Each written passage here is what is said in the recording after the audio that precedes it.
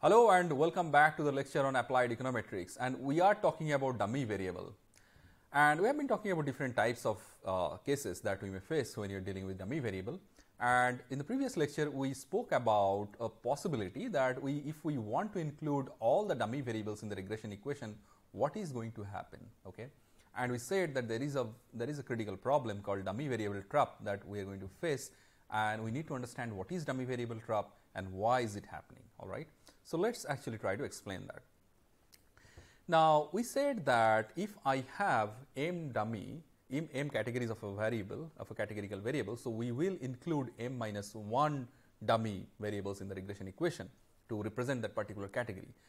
Now, if I have all the dummy variables included, all the categories of the dummy variable included, so it is going to give me a situation called perfect collinearity. I repeat, it is going to give me a situation called perfect collinearity and it will happen the perfect collinearity will happen because there is a intercept term we have in the regression equation. I am just going to explain how these two things are related.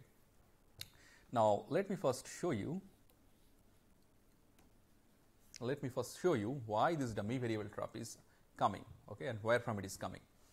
So, the moment I include all these different let us say in this case if I include let us say general, SC, ST and OBC. I have all these four categories and I have seen the summation of DI is always going to give me a value of 1. Okay.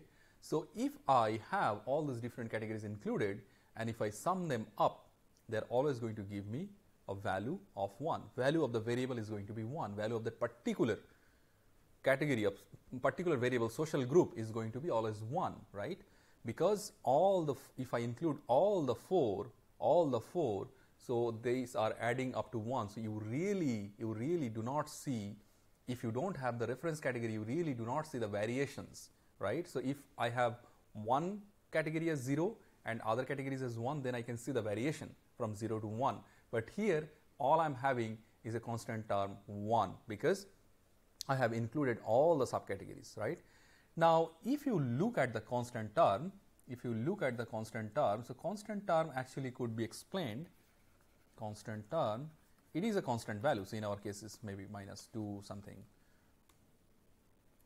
minus let us just see, it, whatever value it has, it really does not matter, but yeah, minus 2594, minus 2594. Now, if that is the if that is the constant value. So, it could actually be expressed as a let us say this is the value of the coefficient 2594 which is multiplied with the value of the variable which is 1. So, constant term has for, for all the observations if I actually think about all the different observations. So, they will have the value of the variable always 1 right and if I have the summation of di that is also going to be 1.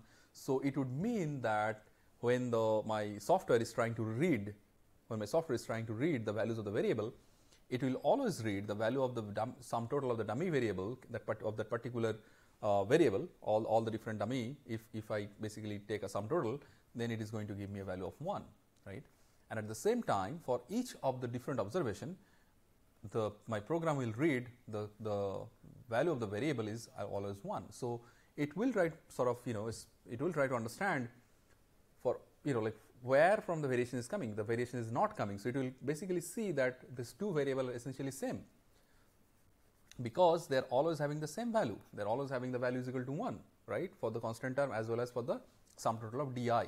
Now, because of that, because it is always same, so it will not be able to understand the importance of you know it will not be able to it will not be able to differentiate the two different variables. It will essentially think that this variable for the constant term essentially and this one they are essentially the same variable. So, when I have you know like this is let us say this is x 1 is equal to x 2. So, my program will say that okay, so these variables are you know perfectly collinear. So, that I can actually explain one variable with respect to the other without any sort of uh, you know uh, deviation. But if I have in some cases this, this is equal to 0 and this is equal to 1. So, then what I will have? I will have some variation and that will not be equal to then it x 1 is not x 1 is not going to be equal to x 2 if I have if I have in, if I have summation of di not equal to 1 and that is only possible if I actually exclude a category. If I exclude a category, let us say if I exclude the general category here and if I include only SC, ST, OBC, so then this value is going to be 0 and these values are going to be 1. So, in this case, in this case summation of di, summation of di is not equal to 0 is, is not equal to 0 for all the cases okay, or is not equal to 0 for some cases. Okay. So, that is where the variation is coming. So, essentially we understand that if the if uh, I have the summation of di is equal to 1, so that it will have a perfect collinearity with a constant term. Okay. Uh, but if I have if I allow one particular category to be a reference category and exclude that then I include some variations here and I get the actually I will be able to interpret the dummy variable or, or, or basically the other uh, categories vis-a-vis -vis the reference category. Now, how to avoid the dummy variable trap? So, let us go back.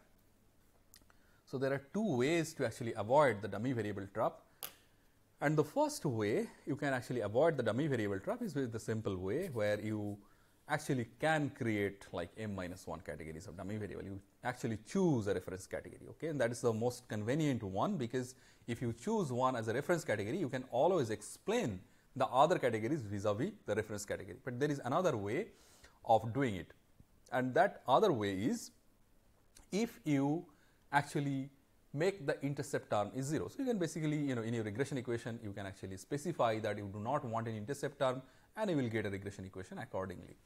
But then you are actually assuming that if you do not have any intercept term, so your regression line is passing through the origin. Okay? So, that is a big assumption you are making. So, usually you probably do not want to do that.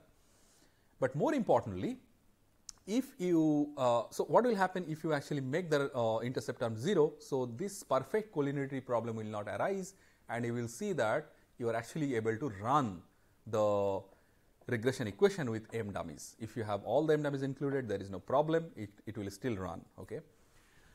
But there is a problem in the sense that when I have all the m dummies included, how do I really interpret the values of the dummy variable with respect to each other? Because dummy variable is always explained as a sort of a, is a relative concept. It is explained in terms of with respect to something, right? But if you do not have any reference category, so usually it is very difficult to explain also. So because of that, we normally do not go for the route of making intercept term 0, but rather what we do is we include all these different uh, categories of dummy with keeping one category as a reference category. So this is how we essentially uh, address the dummy variable trap. Now, suppose, suppose in our regression equation we include all the dummy variables. So, what will happen then? Let us see. Stata is a very smart uh, software and let us see what will happen if I include all the different dummy variables here. So, here I had SC, ST, OBC and let me actually include in the regression equation, let me also include general, okay, and let us see what happens here. So, the same equation I am going to copy and I am going to paste also. So, what I have done what I will do is I will also include general okay, and we will see what happens here if I have all the 4 categories included. Now, it will definitely give me a collinearity problem SC, ST, OBC and general, but is sometimes what will happen you will see your it state or any other software is actually giving you error message, but here Stata is really uh, smart and what it will do is it will automatically choose a reference category okay, and it will omit it okay, and it will say that SC is omitted because of collinearity the problem that we just said. Because when you add all these 4 SC, ST, OBC general the value of the variable is becoming 1 and when it is is equal to 1 it is becoming perfectly collinear with a constant term. It could be interpreted as the multiplication of this coefficient into a value of the variable which is equal to 1. Okay. So, that is why the my program has my software has already omitted a particular category which is SC and it will choose uh, you know uh, at its own convenience. So, it has decided to sort of uh, have SC as the reference category and it is omitted and then when it is omitted then you can again sort of explain the impact of other uh, you know categories vis-a-vis -vis the SC category. Okay. So, this is how we should understand the dummy variable trap concept. All right. So, you can actually look Christopher Dougherty's book. Uh, it is, uh, nicely explained and it is in the chapter 5. And with this, we will uh, sort of um, uh, sort of will end the lecture on uh, dummy variable trap. And in the next lecture, we are going to see next couple of lectures. We are actually going to see the concept of uh, you know reduced form uh, regression. We have already kind of touched upon that uh, reduced form equations in in uh, when we talk about dummy variable, and we are also going to see uh, the the other type of dummy variable that is a slope dummy variable in the next couple of lectures. Thank you.